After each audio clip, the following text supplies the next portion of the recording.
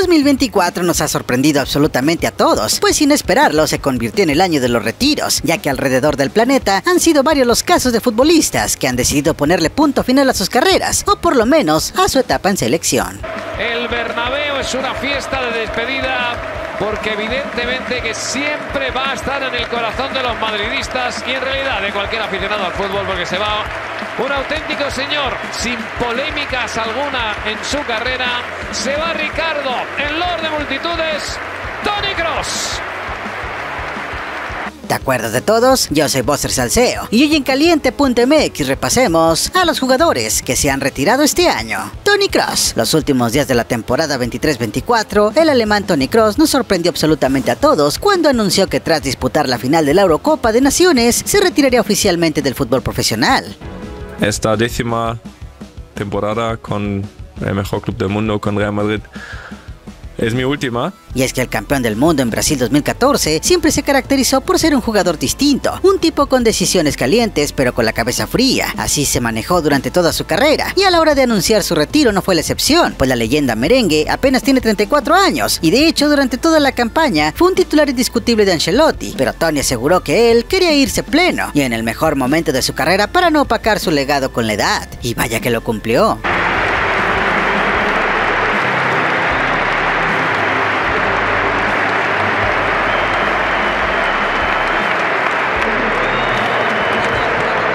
Di María, desde que Argentina ganó la Copa del Mundo en el 2022, declaró que ese iba a ser su último mundial, por lo que ya desde entonces nos estaba adelantando el siguiente paso en su carrera, retirándose de su selección. Sin embargo, no fue hasta hace apenas unos meses que el Fideo confirmó que colgaría los botines con el albiceleste después de disputar la Copa América de este año decidido, ya lo dije un montón de veces, ya no hay, no hay vuelta atrás.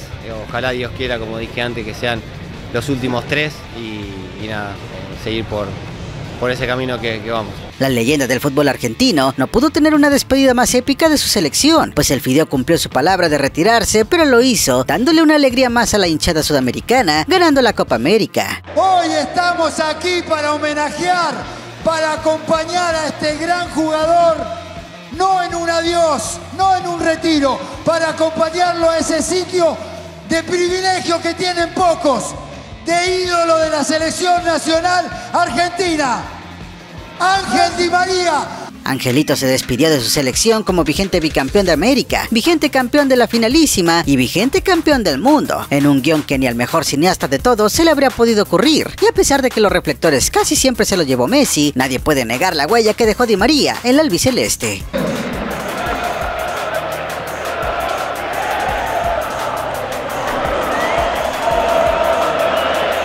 Manuel Neuer. Y hablando de retiros de su respectiva selección, otro que decidió continuar su carrera, pero sin volver a representar a su país, fue el histórico Neuer, quien tras concluir su participación en la pasada Eurocopa, decidió hacer público su retiro de la selección alemana. Manuel Neuer se despide de la selección alemana.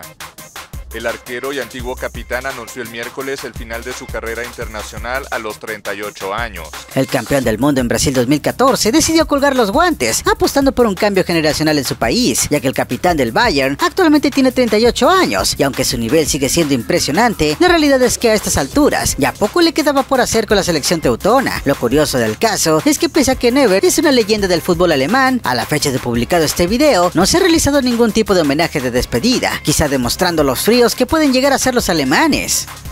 Liebe Fans, liebes Fußball Deutschland, ja, irgendwann musste der Tag ja kommen. Mit dem heutigen Tag endet meine Karriere bei der deutschen Fußballnationalmannschaft. Thiago Alcántara. Sin dudas el retiro de Tony Cross fue el que más nos sorprendió, pero el que no se queda muy lejos fue el de Thiago Alcántara, pues literalmente nadie veía venir que el español decidiera ponerle punto final a su carrera a sus apenas 33 años. Thiago Alcántara ha decidido ponerle fin a su carrera como futbolista profesional a sus 33 años. No es la edad ideal en un fútbol donde los jugadores suelen alargar cada vez más su actividad, pero es el tiempo que su cuerpo le pidió, después de más de 8 años de sufrir con la cadera, las rodillas y los gemelos. Quizá de todo el top Thiago sea el jugador más infravalorado, pero sin duda fue un jugador fantástico, un campeonato que en todos los equipos que militó fue fundamental. Canterano de la Masía y leyenda del Bayern Múnich, Alcántara se dio el lujo de despedirse del fútbol profesional mientras jugaba todavía para Liverpool. De hecho, Fue el propio Pep quien lo convenció de partir con él al Bayern Múnich en 2013, donde pasó siete años de su vida como pilar de ese equipo que fue campeón los siete torneos consecutivos. Volvió a levantar la Champions en 2020 como bávaro, aunque fue en esa etapa con los germanos que comenzaron los problemas. El español de origen brasileño cerró su carrera con un impresionante palmarés que incluía 32 títulos de los cuales 8 fueron con el Barcelona, 17 con el Bayern Múnich y 4 con el Liverpool. Sin duda una leyenda silenciosa del fútbol mundial.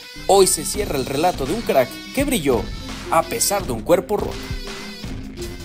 Rafael Varane. Y finalmente, la que se acaba de confirmar hace apenas unos días. Y es que prácticamente todos los ejemplos de este top han sido una sorpresa. Pero lo de Rafael Varane es algo que absolutamente nadie pensaba que sucedería en el arranque de esta misma temporada que está en curso. Y es que el defensor francés se suponía que continuaría su carrera en el Como de Italia, en la que evidentemente era la recta final de su trayectoria, aunque el destino le tenía preparados otros planes.